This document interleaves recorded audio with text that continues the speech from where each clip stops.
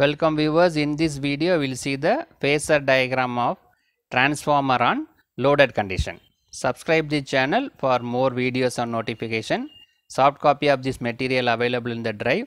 The link is given in the description box. Now we'll go to the topic transformer on load. For that we can see the phasor diagram. The transformer on load that topic is available in the separate video.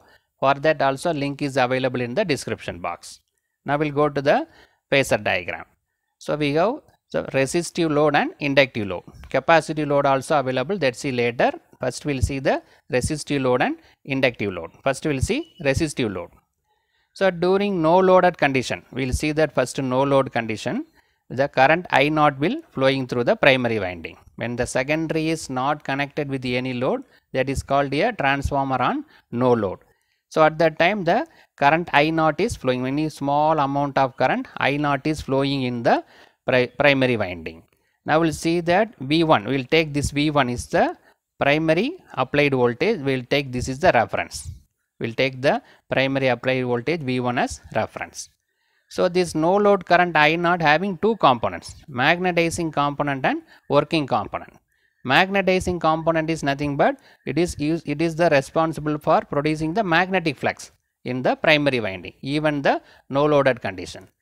IW is the working component that is nothing but iron loss. This iron loss is in phase with the voltage. This magnetizing current is 90 percent 90 out of phase 90 degree out of phase. So due to this I mu flux is produced. So both are in phase. So we'll take this V1 as a reference. During no load condition we got I naught. I naught is the vector sum of IW and I mu. IW is the iron component or working component or active component that is in phase with the applied voltage. But the magnetizing current I mu is out of 90 degree out of phase with the V1. This I mu responsible for producing the flux phi. These two are in phase. Now when the transformer is loaded, if it is loaded what will happen? This I2 dash current will flowing through the primary winding. So this I2 dash also in phase with the voltage. But total current I1, this I2 dash is due to the loaded. When the transformer is loaded, I2 current will flow in the secondary. That due to that, one more current flowing in the primary is called a I2 dash. So the total primary current is nothing but vector sum of this I2 dash and i0. See this i0 and I2 dash both are added together so that we are getting the total primary current I1. So because of resistive load this I2 dash and V1 are in phase both are in in phase the current and voltage primary current and voltage are in phase because of resistive load. So that we have another term I2 I2 is nothing but current flowing in the secondary winding that is opposite to that of primary winding. What is E1 and E2? The EMF induced in primary winding and secondary winding. So based on the Lenz law, the EMF induced is opposing the cause producing that is opposing the flux. So this is the applied voltage, this is the EMF induced.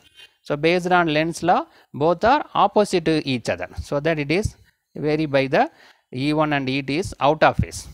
It's an opposite direction. E1 and E2 is opposite the 180 degree out of phase. Right. So I will explain again. So we are taking V1 as a reference primary applied voltage. Under no load condition we have I naught no load current that is having two components working component and magnetizing component. Working component in phase with the uh, voltage but the magnetizing component out of phase 90 degree out of phase. This component is responsible for producing the flux both are equal both are in phase. So vector sum of these two is I naught.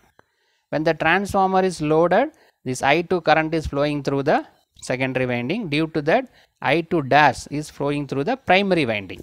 So that I2 dash is in phase with the applied voltage because of resistive load. Because of resistive load I2 dash and V1 are in phase. The vector sum of I2 dash and I0 is the vector is I1 total primary current. Right. So this is the angle phi naught that is the angle between I0 and V1.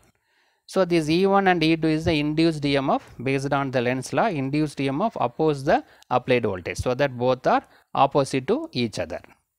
In case of inductive load the same process I0 is available the vector sum of IW1 I mu but the I2 dash. When the transformer is loaded we got I2 current in the secondary.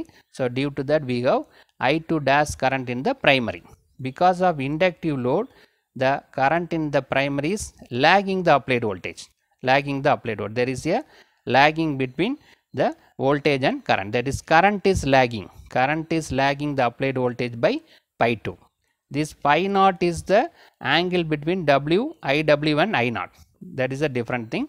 That is no loaded condition. This is loaded condition. There is a lagging of current is lagging with the applied voltage by phi 2 here both are in phase. I2 dash and v1 are in phase. There is no angle. But in here due to inductive load current is lagging the applied voltage by phi 2 similarly the so other things are similar e1 and e2 the capacitive load we'll see later now we'll go to the description. Take the primary voltage as a reference. We'll take the primary voltage as reference. No load current i naught lagging v1 by an angle phi naught. So there is a lagging of v1 I, uh, v1 and i naught by this phi naught. The magnitude of i mu set up the flux phi that is in phase with the i mu. I mu is at 90 degree with v1 the phase angle between i mu and v1 is 90 degree. This i mu produce the flux phi but i mu and flux phi are in phase. Working component are of no load current. Iw is in phase with the v1 there is no lagging there is in phase. Due to flux phi an emf is produced in the e1 is produced in the emf e1 and e1 in the primary e2 in the secondary due to the flux. We have induced emf e1 and e2 in the primary and secondary. Emf oppose the cause producing so that e1 and e2 are anti-phase with v1 right? Now when the secondary is loaded the current i2 is flowing in the secondary. When this load i naught is the current flowing in the primary under no loaded condition this i2 is the current flowing in secondary during the loaded condition if the load is purely resistive i2 is in phase with e2 if the load is inductive i2 lags the e2 by phi 2 if load is capacitive i2 leads the e2 by phi 2 so the based on the load it may be in phase or lagging or leading. That already we discussed in the diagram also. When a current i2 flows in the primary which is anti-phase with i2 because of i2 one more current is flowing through the primary winding. Thus both are opposite both are anti-phase. The primary current i1 is the vector sum of i0 and i2 that also we discussed now we'll see the capacitive load. We already discussed the resistive load and inductive load. Now we'll see the capacitive load so this applied voltage v1 is taken as reference. This current i0 during no loaded condition is a vector sum of iw and i mu.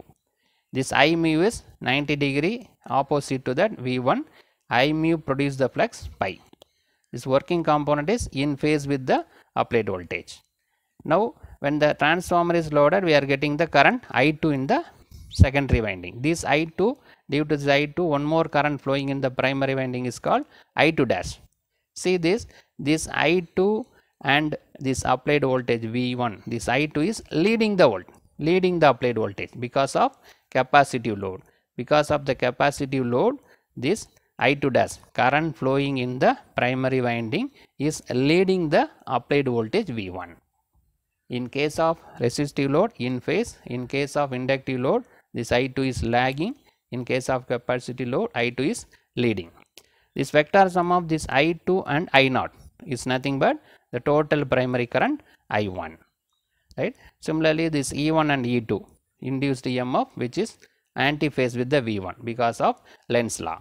So in this video we discuss about the equal the phasor diagram when the transformer is loaded condition for a three different loaded loading conditions resistive load inductive load and capacity load subscribe the channel for more videos and notification Soft copy of this material available in the drive. Link is given in the description box. Thank you for listening.